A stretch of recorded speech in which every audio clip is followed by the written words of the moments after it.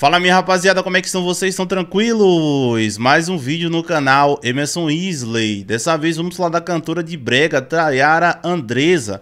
Ela acabou usando suas redes sociais, mais precisamente seu Instagram, para fazer um pronunciamento logo após ser expulsa do palco por não mandar alô para um prefeito. Esse caso vem repercutindo demais nas redes sociais e eu resolvi debater esse assunto aqui com vocês. Pois é, rapaziada, esse caso aconteceu na cidade de Traculhaém, na zona da mata de Pernambuco. Ela estava estava cantando ali do nada, ela acabou meio que sendo expulsa do palco logo após não querer. É, ela disse que mandou ali alguns alôs para, prefe para o prefeito, porém ele queria demais da conta. Enfim, eu vou mostrar para vocês logo esse momento, para posteriormente eu mostrar o pronunciamento da cantora.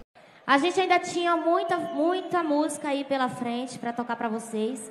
Né? O show é uma hora e vinte, uma hora e meia mais ou menos.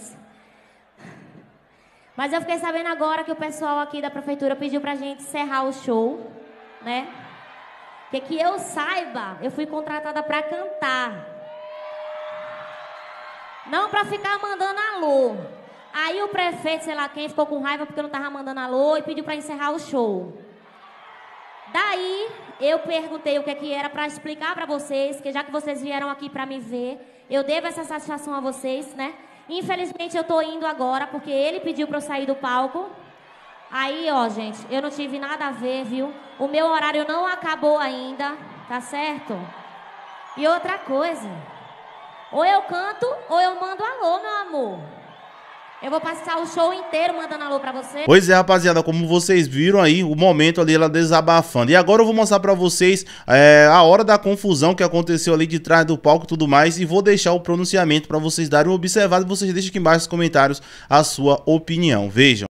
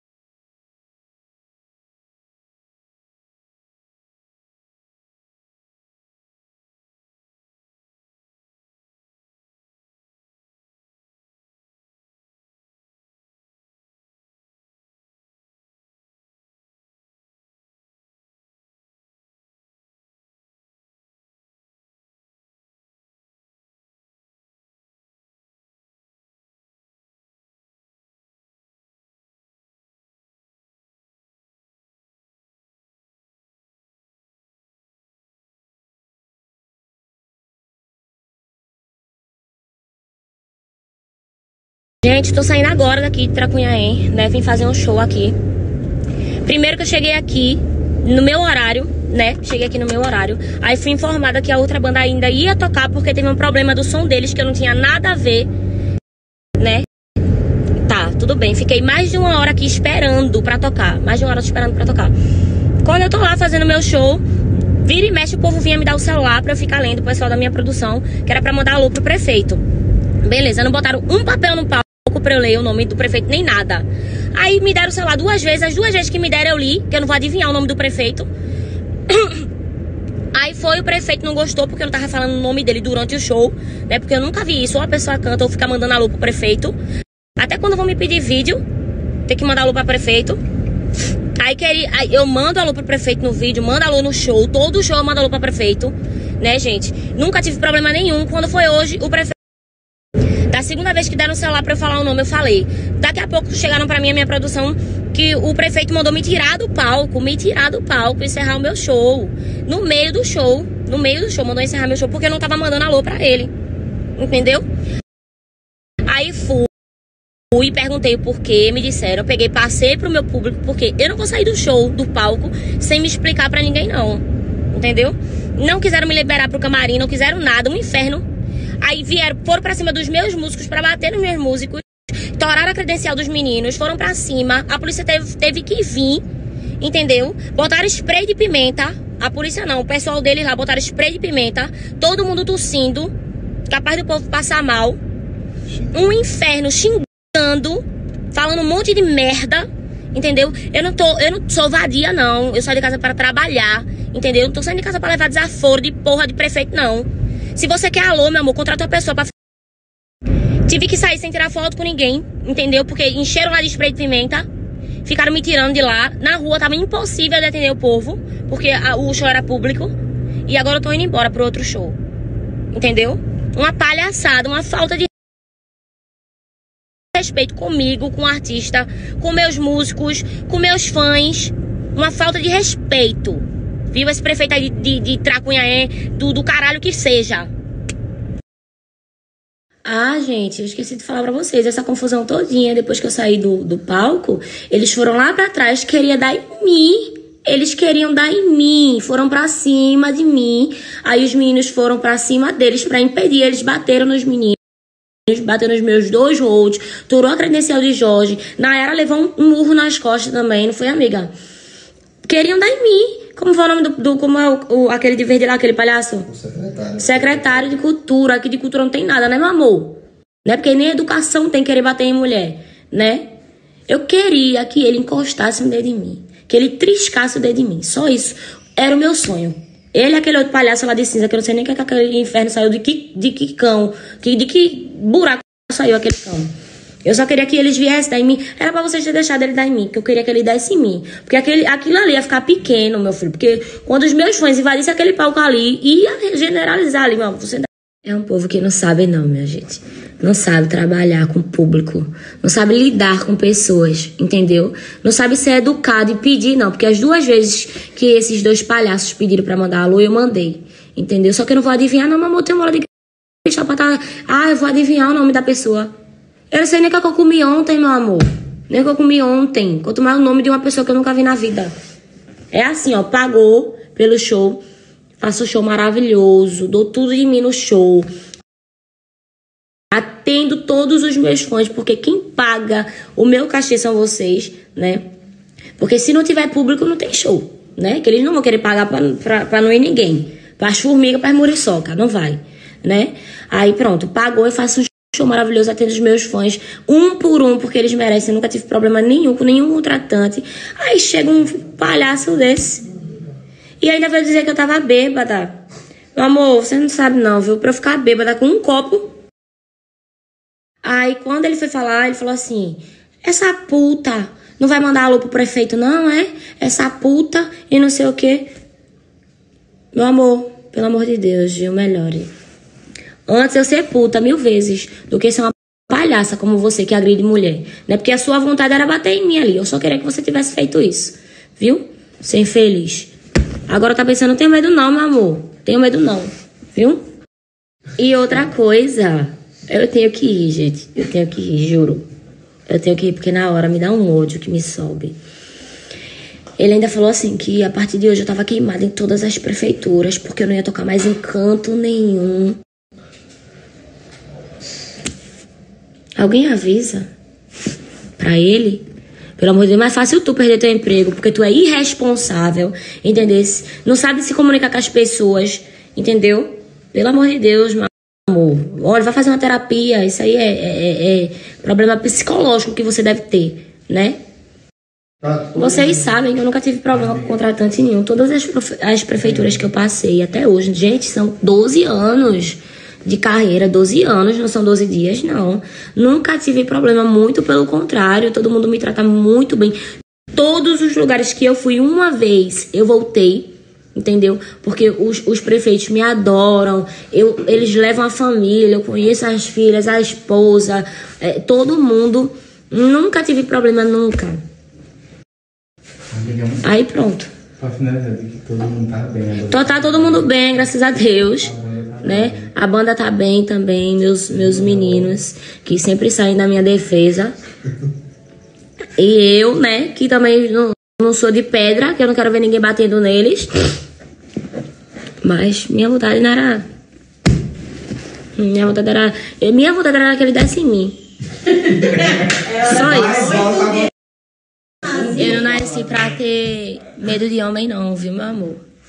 Nasci pra ter medo de homem, não. E outra coisa, eu fiquei sabendo aqui que antes, quando eu cheguei no show, aí tinha tido um problema lá que atrasou o show de todo mundo. Não foi? Que eu ia tocar de 9 horas da noite, vim tocar quase 10 e meia. Se não foi mais. Pronto, fui tocar de 11 horas. Eu cheguei lá de 9 da noite. Ia dar 9 da noite, porque eu ia tocar de 9 horas.